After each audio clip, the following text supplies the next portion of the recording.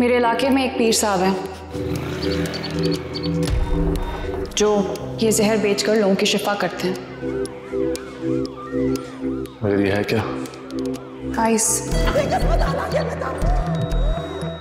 अगर मैं अपने लोगों का ख्याल नहीं रख सकती तो इससे बेहतर है कि मैं मर जाऊँ। आपका दिमाग ठीक है और आपको किसी डेडिकेशन या बहादुरी का अवार्ड नहीं मिलेगा।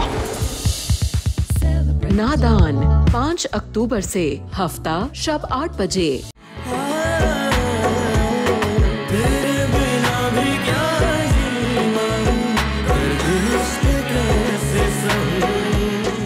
ये मेरी ज़िंदगी है, कोई इशू नहीं है जिसे डिस्कस करने के लिए तुम बैठ जाती हो। और मेरी ज़िंदगी तुमने ही बर्बाद की है। और अब तुम यहाँ बैठकर बाबा को मेरे खिलाफ भड़का रही हो?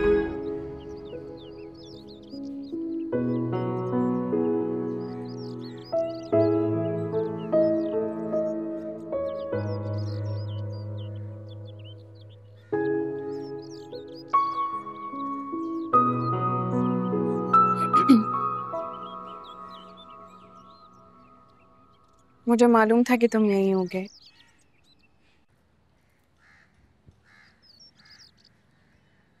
तुम मेरे बारे में कब से जानने लग गई? प्लीज़ तुम जाओ यहाँ से और मुझे अकेला छोड़ दो। आई एम सॉरी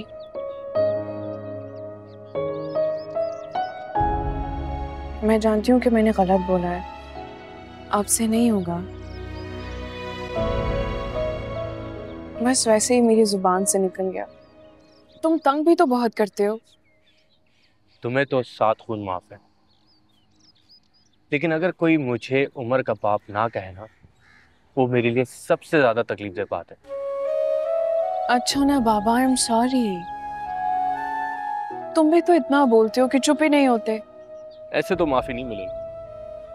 जब तुम मुकम्मल मेरी ज़िंदगी में आ जाओगी तब देखो है नहीं। हम दोनों को हमारे रिश्ते को मज़बूत करना चाहिए। वरना तुम्हारे जहन में जो शकूक शबात है वो कभी खत्म नहीं होंगे। आप समझो कि खत्म हो गए। अब सीधी शराफत से चलो मेरे साथ। उठो उठो। मैंने कहा ना उठो और चलो मेरे साथ। प्लीज़ मेरा हाथ छोड़ो। तुम जाओ मैं बाद में आऊँगा। बाद में क्यों? अभी चलो मेरे साथ। क्यों? कोई ज़बरदस्ती है? हाँ इस बार मेरी ज़बरदस्ती है। यानी क्या ज़रूरत थी तुम्हें मुझसे वो सब बातें करने की? कहा ना बाबा गलती हो गई। अब जाने दो प्लीज़ पहले वादा करो। आइंदा मुझे छोड़ने का कभी नहीं सोचोगी और ना ही उसका ज़िक्र करोगी। और अगर कभी तुम्हारा दिल किया तो? तो वो मेरी ज़िंदगी का आखिरी दिन होगा। मैं इतनी आसानी से तुम्हारा पीछा नहीं छोड़ूँगा। अच्छा ना। मरने मराने की बातें मत करो प्लीज़ अच्छा नहीं करूँगा। खुश? अब चलें अंदर। फरी को देखें। उसका मूड बहुत ख़राब है। और उसी के मूड की वजह से मेरा मूड भी ख़राब हो गया। हाँ।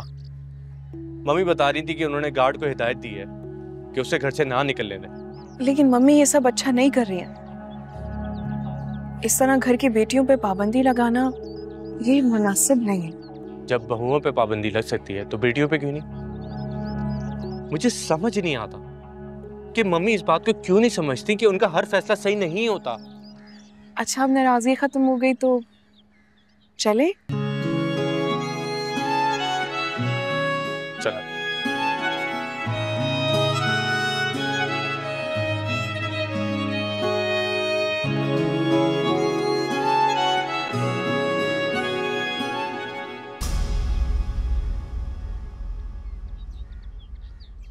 तुम देख रहे हो इनकी हरकतें? जी मम्मी सब देख रहा हूँ मैं। मम्मी मम्मी प्लीज़ जरा आराम से बात कीजिएगा पहली फरी का मसला चल रहा है प्लीज़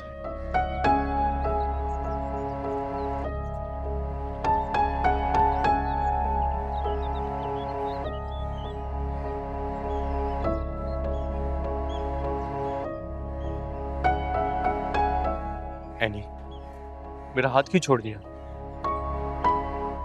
तुम्हें डरने की कोई ज़रूरत नहीं है। मैं तुम्हारे साथ हूँ। मुझे पता है तुम मेरे साथ हो। नहीं अब मुझे कोई डर नहीं है। अफान! ये कौन सी जगह है इश्क लड़ाने की? मम्मी मैं अरे मुलाजमीन देखकर क्या सोचेंगे? कोई शर्म हया है तुम में या सारी बेच खाई सॉरी मम्मी। अरे घर में वैसे इतना बड़ा मसला चल रहा है। फरी ने ऑफ़िस फ़ोन करके आसमान सर पर उठा रखा है। लेकिन तुम्हें इससे क्या? घर में कुछ भी हो तुम तो लगे रहो बस। मम्मी आप हमारी सुने तब ना। आपने तो बस अपना फैसला सुना दिया है। बीवी के सामने बदतमीजियाँ कर करके तुमने इसे भी शह दे रखी है। मम्मी मैं आपसे कोई बदतमीजी नहीं कर रहा।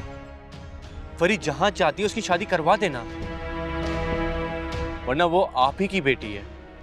और नतज की जिम्मेदार आप ही होंगी। सुन रहे हो अपने भाई की बातें? तुम्हारी बीवी की वजह से एनी इस घर में है और इन दोनों बहनों ने इस घर का सुकून तहस नहस कर रखा है। बट मम्मी इसमें मेरा क्या कसूर है? एनी की वजह से एमल घर से भी तो चली गई है। अभी जरा फरी का मसला निपटा लूँ फिर बात करती हूँ तुमसे।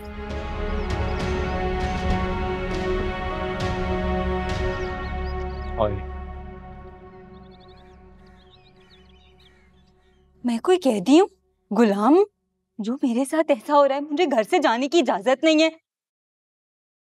इस घर की बेटी हूँ मैं। बहू और बेटी में कोई फ़र्क ही नहीं रह गया इस घर में। बाजी आएँगी तो उनसे खुद बात कर लेना। क्या बात करेगी? मैं इसे बाहर जाकर गुल खिलाने की इजाज़त नहीं दे सकती। आप मेरे साथ ऐसा सुलूक नहीं कर सकती। एमल आयमा या एनी नहीं हूँ मैं। आपकी बेटी हूँ।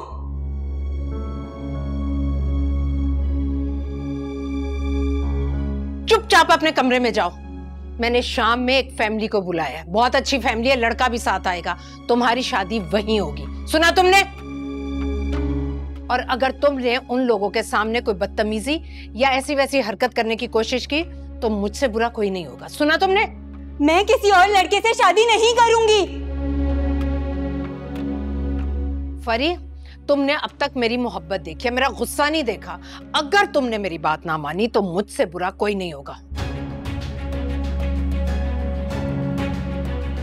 आने दें उन लोगों को। मैं भी देखती हूँ आप ऐसा कैसे करती हैं? मम्मी।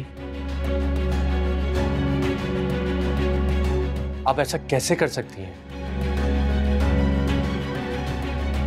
फरिया की रजामंदी के बगैर आप किसी को क्यों बुला रही हैं? प्लीज़ पहले आप बैठ के इस मसले का हल क्यों नहीं निकालती? मेरे मामले में कोई मत बोले। मैं इसकी माँ हूँ। इसके लिए अच्छा ही सोचूँगी मैं। जो रिश्ता आ रहा है ना वो लाख दर्जे बेहतर है फाहद से। तो फाद में क्या खराबी है? जब बहुएँ पसंद करने निकली थी तब तो नहीं देखा कि वो छोटे खानदान की हैं? फरिया जरा सोच समझ के बात किया करो। देख तो लिया करो कि आगे पीछे कौन खड़ा हुआ है। किसके सामने तुम क्या बोल रही हो?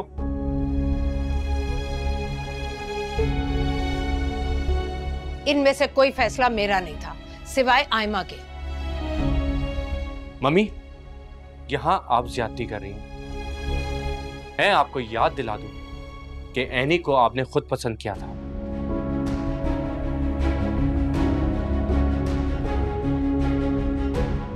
मम्मी तो आयमा कौन से बड़े खानदान की है? हमारे टुकड़ों पर पल के बड़ी हुई है। वरना पड़ी होती किसी सड़क पे। अरे आयमा को क्यों बीच में ला रही हो? वो तो तुम्हारा अपना खून है। मेरा खून नहीं है खाला। अपने बाप का है।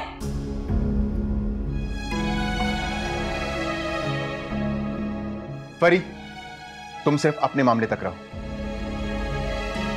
और मम्मी जो कह रही है प्लीज़ उनकी बात मान लो वो तुम्हारे लिए अच्छा ही सोचेंगी। शरियार भाई आपको तो मम्मी की कोई बात बुरी लगती ही नहीं है जब तक आपका कोई मफाद ना हो।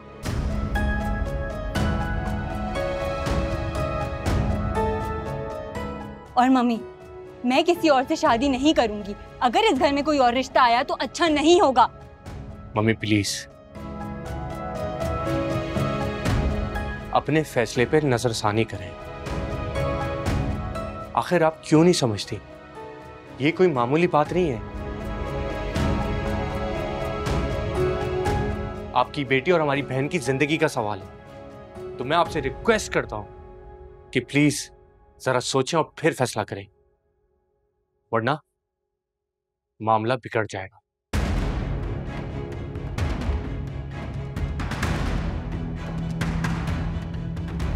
हमेशा तुम लोगों की नहीं चलेगी। मैं अपनी शहजादी जैसी बेटी उस फकीर खानदान में नहीं दे सकती नेवर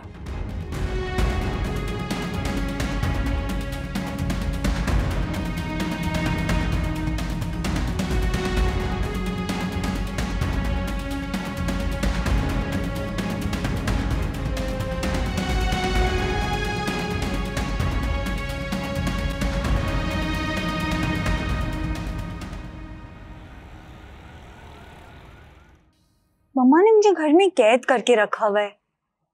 बेवा जैसा सुलूक कर रही है मेरे साथ। मेरे तो घर से निकलना भी मुश्किल हो गया है। खुदा ना करे कैसी बातें कर रही हो? तुम्हारी मम्मी इतनी जालिम है? क्यों कर रही हो ऐसा? वो कहती है कि तुम लोग बहुत ज़्यादा लालची हो। हम लोगों की दौलत पे नज़र है तुम लोगों की। कितना गलत सोचते हैं वो हमारे बारे में। पर मैंने भी उनसे कह दिया है कि मैं शादी करूँगी तो सिर्फ़ तुमसे। तो फिर उन्हें मनाओ ना। यार वो नहीं मानेंगी वो बहुत जिद की पक्की हैं। तो फिर क्या होगा? हम कैसे एक होंगे? मुझे लगता है हमें खुद ही कोई फैसला करना पड़ेगा। यानी कोई बारात नहीं कोई रुखसती नहीं डायरेक्ट शादी कर लें। तुम्हें बारात और रुखसती की फ़िक्र है? यहाँ मेरा दम घुटे जा रहा है। तो फरिया तुम वहाँ से कैसे निकलोगी? इतनी पाबंदियों के बाद।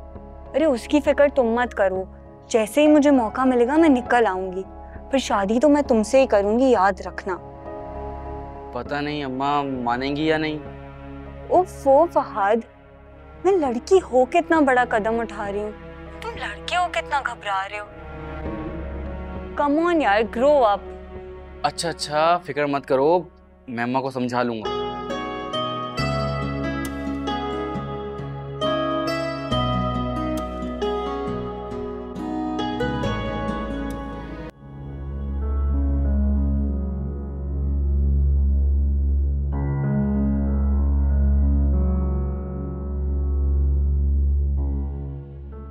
शहरियार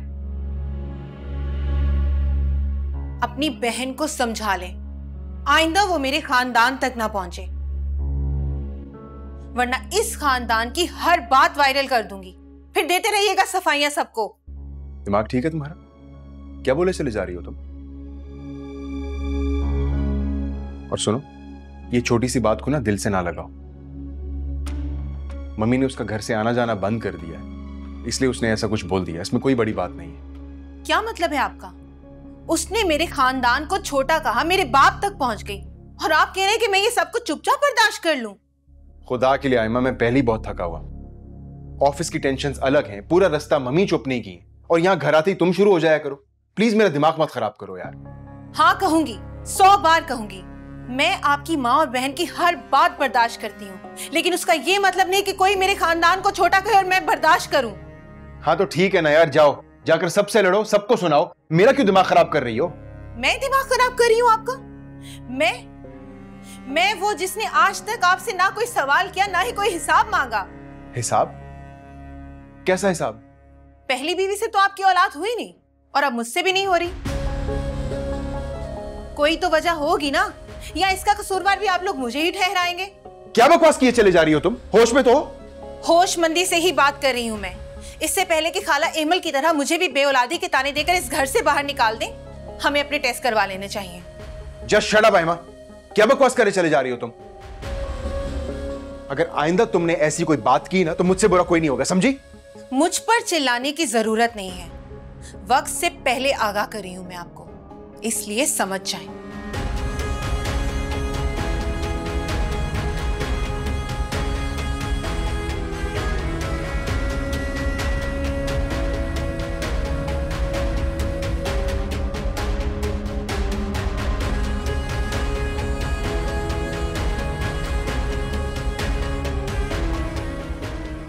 मैं तो कल ही जाऊँगी अम्मी के साथ, किसी गायनाकोलॉजिस्ट के पास।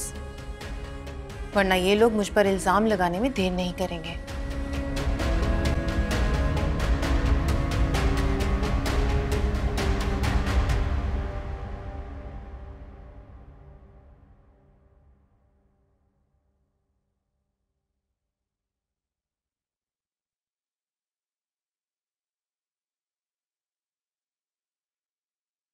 मुझे फरी के तेवर कुछ समझ नहीं आ रहे। उसे सख्ती की नहीं, बल्कि घर वालों के प्यार की ज़रूरत है। अगर इस वक्त उस पर सख्ती बरती गई ना तो अल्लाह ना करे वो कोई दूसरा रास्ता न अख्तियार कर ले। मुझे भी यही डर है, नहीं। लेकिन तुम खुद ही बताओ, मैं करूँ तो क्या करूँ? उल्टा मम्मी मुझे अपना दुश्मन समझने लगी हैं। तुम ऐसा क्यों नहीं करते कि मम्मी से बात करो? और जो वो कहती हैं वो वो मान लेते हैं? मतलब? मैं तो कहती हूँ कि फरी के लिए और उसके उसके ससुराल वालों के लिए एक अच्छा सा फर्निश घर लेकर हम उसे दे देते हैं। यानी ये बात पहले भी हो चुकी है और ये कोई हल नहीं होता। तुम्हें क्या लगता है? अगर मैं ये बात करूँगा तो मम्मी मुझसे खफा नहीं होंगी? वो पहले ही मुझसे नाराज़ है। तो फिर ऐसा करते हैं कि कोई अच्छा सा घर उन्हें रेंट पर लेकर दे देते उसका एडवांस तुम दे दो। और फिर जब रेंट का टाइम आएगा उस वक्त मैनेज कर लेंगे कुछ देख लेंगे। एनी इससे क्या होगा? और आखिर कब तक हम फरिया के लिए ये सब करते रहेंगे? मसला फाद की अपनी और फरी की ज़िम्मेदारी उठाने का है। और सबसे बड़ा मसला, मम्मी की नज़रों में उनके स्टेटस का है। वैसे एनी मुझे लगता है कि मम्मी ठीक भी कह रही है। हमें फाद की फैमिली को आजमाना चाहिए। ये बहुत बड़ा फैसला है। देखो, मैं फरी और फहाद की नीयत पे शक नहीं कर रहा। और खुद सोचो, कहीं वो लोग बाकी फरी को किसी लालच में तो नहीं अपना रहे? अब किसी की नीयत के बारे में तो हम कुछ नहीं कह सकते। दूसरे इंसान के दिल में क्या चल रहा है? ये हमें मालूम नहीं है। अब देखा जाए तो धोखा तो हम दो बहनों के साथ भी हुआ ना। तुम अब तक वो सब नहीं भूली? जो दुख इंसान की ज़िंदगी को बदल कर रखते हैं उन्हें माफ़ तो किया जा सकता है लेकिन बोला नहीं जा सकता। यानी मैं कोशिश कर तो रहा हूँ कि तुम्हारे सारे दुखों को खुशी में बदल दू। मैं जानती हूँ कि तुम कोशिश कर रहे हो। इसीलिए मुझे तुमसे तो कोई शिकायत नहीं है।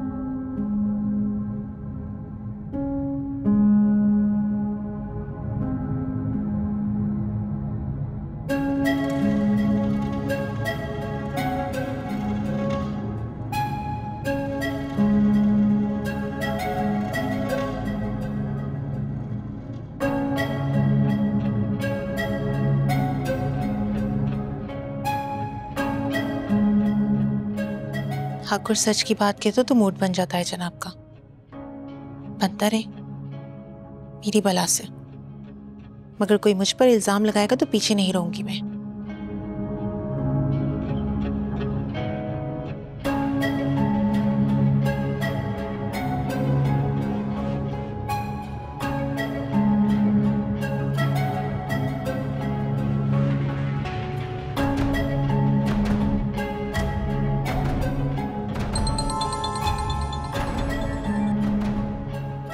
हेलो अम्मी नाश्ते के बाद तैयार हो जाए। हमें गायना गायनाकोलॉजिस्ट के पास जाना है। सच? क्या कोई खुशखबरी? है अम्मी अभी मुझे क्या पता? जाएँगे तो पता चलेगा ना। अच्छा अच्छा ठीक है। वैसे हो जाए ना तो बहुत अच्छा होगा। राज करोगी इस घर में मालकिन बन के रहोगी। अच्छा आयमा मुझे एक बात बताना। शहरियार को क्या हुआ है? उसका मूड कुछ ठीक नहीं लग रहा था। टेस्ट करवाने का कह दिया था। इसी बात पर मूड खराब हो गया जनाब का। आयमा सत्यानाश जाए तुम्हारा। ये फालतू बात करने की क्या ज़रूरत थी? इतनी मुश्किल से तुम्हारे हाथ में आया अब उसको क्यों गुस्सा दिला रही हो कि तुमसे दूर हो जाए? हाँ तो क्या ऐसे ही छोड़ दूँ अम्मी? अगर असल बात पता नहीं चली तो ये लोग मुझ पर भी बेऔलादी का इल्ज़ाम लगा देंगे। और मुझे भी इस घर से निकालने में देर नहीं करेंगे। आप तैयार हो जाएँ? मैं तैयार होकर आ रही हूँ। ठीक है। तुम आ जाओ। मैं तैयार हूँ।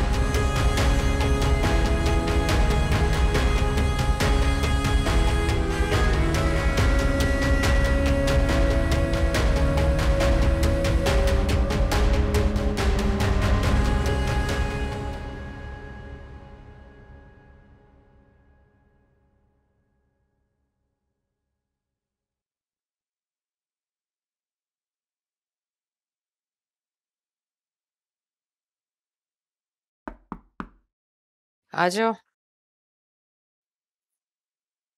क्या बात है मम्मी? आप तैयार नहीं हुई?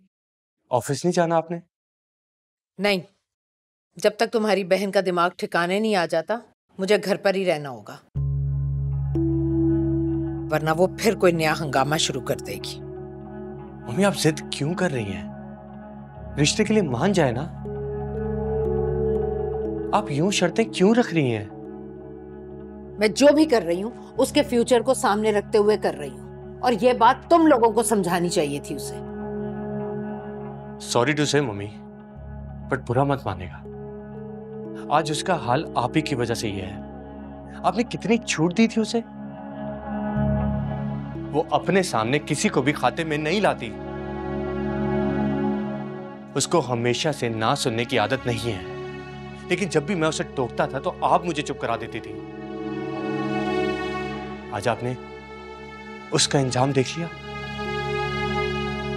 ऐसे बच्चों को अपनी मर्ज़ी चलाने की आदत हो जाती है। और फिर क्या होता है? वो अपने माँ बाप की भी नहीं सुनते। और जब भी उनकी बात मानने से इनकार किया जाए तो वो लोग कुछ भी कर गुजरते हैं। और उसकी वजह उनके वालदेन ही होते हैं। तुम्हारा मतलब है कि मैंने बिगाड़ा है उसे? जी मम्मी ऐसा ही है। मम्मी प्लीज़ उसकी शादी फहद से करवा दें। कम से कम वहाँ जाके उसकी जिद तो खत्म होगी। और फिर वहाँ के हालात उसे सुधार देंगे। उसके पास कोई ऑप्शन नहीं रहेगी। वो मेरी इकलौती बेटी है। और दोनों सूरतों में नुकसान तो उसी का होगा ना?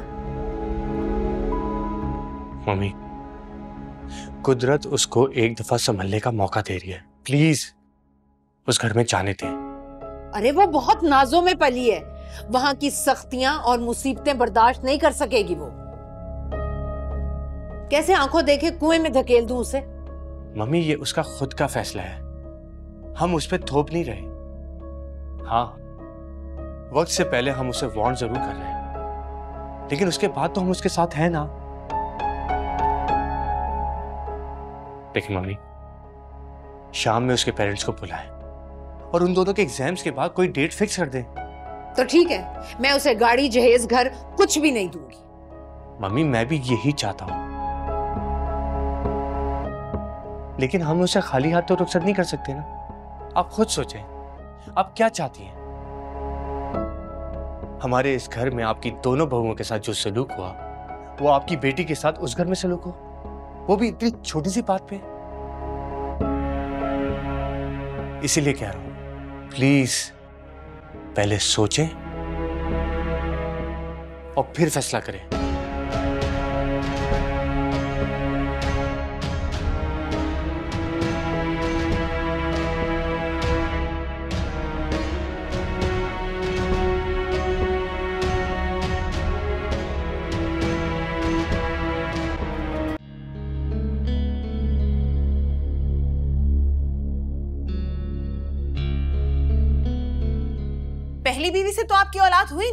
और अब मुझसे भी नहीं हो रही। कोई तो वजह होगी ना? या इसका कसूरवार भी आप लोग मुझे ही ठहराएँगे? इससे पहले कि खाला एमल की तरह मुझे भी बेऔलादी के ताने देकर इस घर से बाहर निकाल दें, हमें अपने टेस्ट करवा लेने चाहिए। वक्त से पहले आगाह कर रही हूँ मैं आपको। इसलिए समझ जाए।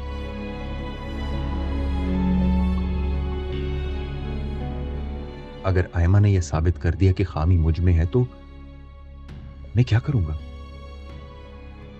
लेकिन हिमल के वक्त तो मेरी सारी रिपोर्ट्स क्लियर थी। तो फिर अब क्यों डर रहा हूँ मैं? इससे पहले कि आयमा इस बारे में वावेला मचाए, मुझे पहले ही कुछ कर लेना चाहिए।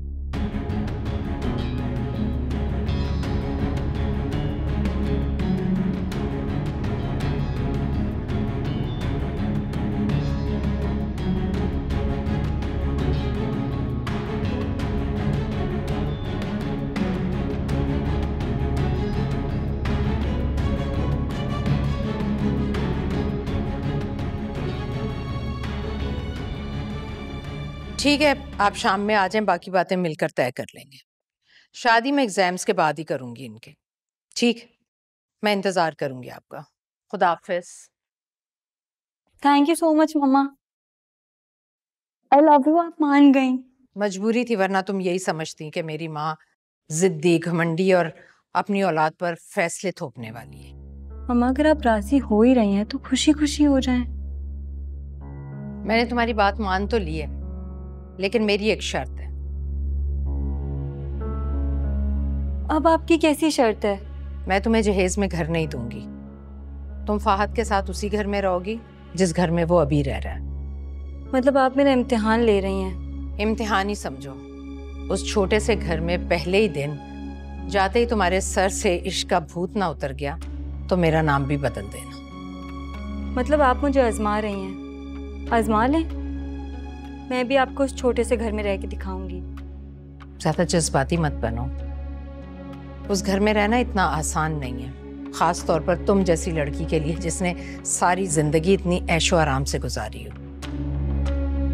मतलब आप मुझे चैलेंज दे रही हैं। देन चैलेंज एक्सेप्टेड ये लग्जरी लाइफ आप ही नहीं मुझे दी है ना? इसके बगैर भी मैं आपको रह के दिखाऊँगी।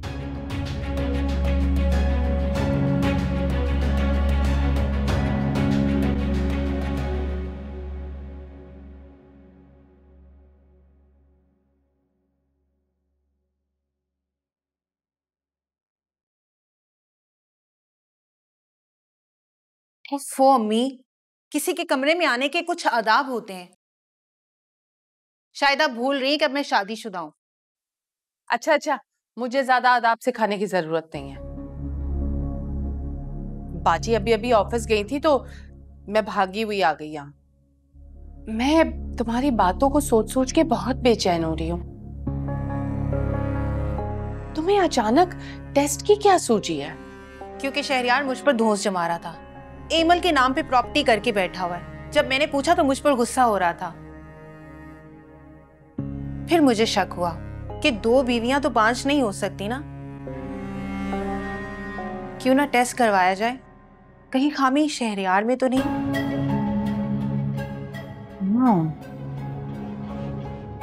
इस पे तो हमने सोचनी ही नहीं। आपने नहीं सोचा ना। लेकिन अब मैं सोच रही हूँ। हमें आज ही चलना है डॉक्टर मेहनाज के पास। मैंने अपॉइंटमेंट ले ली है। बहुत अच्छी गायनाकोलॉजिस्ट है। आज? आज तो बाजी ने किचन देखने को कहा है मुझे। फहद और उसकी अम्मी आने वाले हैं आज रिश्ते के लिए। अच्छा? मम्मी जी मान गई हैं। मगर शहरियार ने तो मुझे इस बारे में कुछ भी नहीं बताया। बाजी के दिमाग का पता है किसी को? कल तक कितना हंगामा किया हुआ था उन्होंने? आज अचानक राज़ी हो गई। उनके दिमाग में क्या चल रहा होता है किसी को कुछ नहीं पता। वाह भाई इसीलिए तो खाला मुझे पसंद नहीं है। अपनी बेटी की बारी आई तो फ़ौरन राज़ी हो गई। ये अच्छा है। हाँ भाई और ये भी कह रही थी कि आज ही तारीख दे के शादी तय कर दूँगी। लेकिन अम्मी फरी कैसे रहेगी वहाँ? कहीं खाला उसे घर वर तो नहीं दे रही? अरे कोई नहीं। कह दिया है मुझे। यहीं घर से रुखसत हो जाएगी वो। न जहेज न गाड़ी न घर। कुछ भी नहीं। खाली हाथ जाएगी। वैसे करना भी ऐसा ही चाहिए खाला को। हम्म। क्या ज़रूरत है? एक बेवकूफ़ बेटी पर इतना माल उठाने की? फरी को भी तो पता चले कि किसी के घर पर पड़े रहने का मतलब क्या होता है। मुझे तो इंतज़ार है उस दिन का। जिस दिन फहद उसे लड़ झगड़ कर यहाँ छोड़ जाएगा। ऐसा ही होगा। अच्छा मेरा ख्याल है कि आज हमें डॉक्टर के पास नहीं जाना चाहिए। हुँ? वो अम्मी ठीक है आपने नहीं जाना ना ना जाए। मैं खुद ही चली जाऊँगी। अरे अच्छा अच्छा। चलती हूँ तुम्हारे साथ। लेकिन वहाँ से सीधा घर आएँगे। बहुत काम है घर में। मुझे नहीं करने कोई काम। मुझे मॉल जाना है शॉपिंग करने के लिए। ड्राइवर आपको ड्रॉप करेगा और मुझे वहाँ से पिक कर लेगा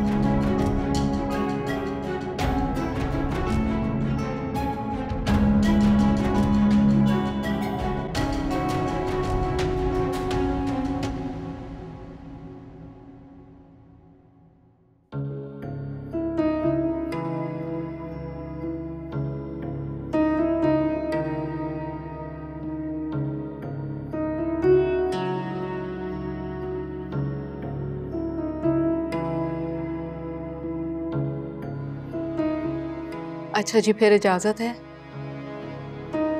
ताकि फहद अंगूठी पे ना दे।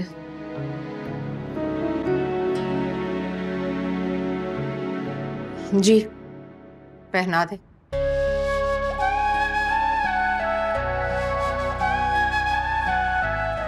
आओ बेटा। आ जाओ।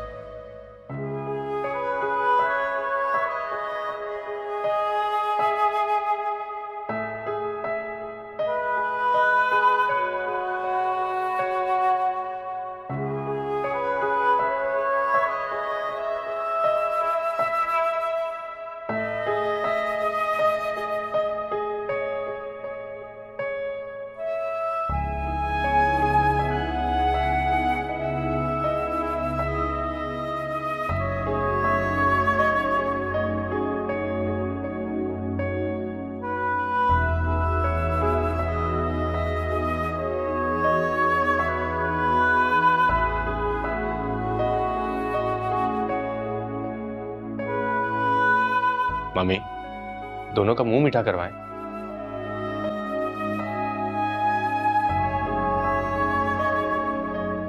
तुम और तुम्हारी बीवी खिलाओ ना। मेरा क्या काम है?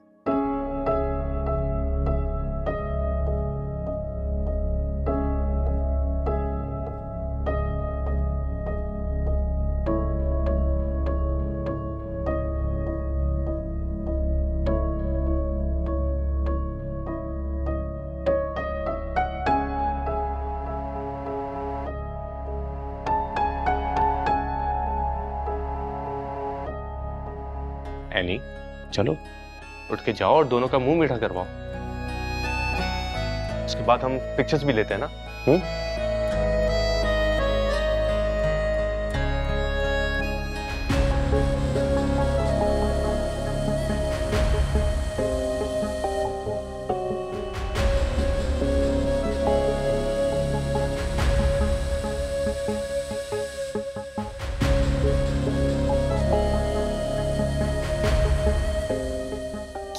है माँ उठकर क्यों आ गई हो? आपने देखा नहीं सब कैसे एनी को ही पूछ रहे थे। एनी ही तस्वीरें बनाए एनी ही मिठाई खिलाए। मेरी तो किसी को कोई कदर ही नहीं है। कोई मुझे पूछ भी नहीं रहा था। उसका शोहर उसे अहमियत देता है ना? तुम भी शहरियार से अपने नखरे उठवाया करो। सुबह से मुँह बनाया हुआ उसने। जरा सा टेस्ट करवाने को क्या कह दिया मैंने? अब देखना शादी में भी एनी आगे आगे रहेगी। अपने नंबर बढ़ाएगी ना। आप इसे घर से निकालती क्यों नहीं अम्मी? लो भाई मैं कहाँ से निकाल दूँ? मेरी बहुत चलती है इस घर में। देखा नहीं अफान कैसे जान छिड़कता है उसके ऊपर? वो जाने देगा उसे इस घर से। बाजी तक ने तो हार मान ली है महरोज का भी यही हाल था। और अब अफान का भी वही हाल है। पता नहीं क्या ऐसा एनी के अंदर है जो मरते हुए जा रहे हैं सब इसके पीछे। पता नहीं कौन से सुरखाब के पर लगे हुए। बस आयमा तुम्हारी औलाद हो जाए। फिर देखना शहरियार तुम्हारे कैसे आगे पीछे घूमेगा। मैं भी देखती हूँ। फिर कैसे नजरअंदाज करता है शहरियार मुझे। अच्छा आप एक काम करो। अंदर चलो वरना बाजी को बुरा लगेगा। आप बस सारी ज़िंदगी डरती ही रहिएगा। बाजी को ये अच्छा लगेगा बाजी को वो बुरा लगेगा बस यही ज़िंदगी रह गई आपकी। तो और क्या करूँ अगर डरूं नहीं तो? कोई और हल है इसके अलावा? कहाँ जाऊँगी मैं? पता नहीं कब जान छुटेगी इनसे। तुम भी तो कुछ नहीं कर रही ना? शहरियार से कोई प्रॉपर्टी कोई बैंक बैलेंस कोई चीज़ अपने नाम करवाओ। ताकि हम भी अपनी मनमानियाँ कर सकें। सब होगा, मी। बस थोड़ा सा सब्र रखें। आपने सारी ज़िंदगी खाला जैसी ज़िंदगी गुजारने की ख्वाहिश की है ना? मैं आपको खाला की जगह ना लाई तो मेरा नाम भी आयमा नहीं।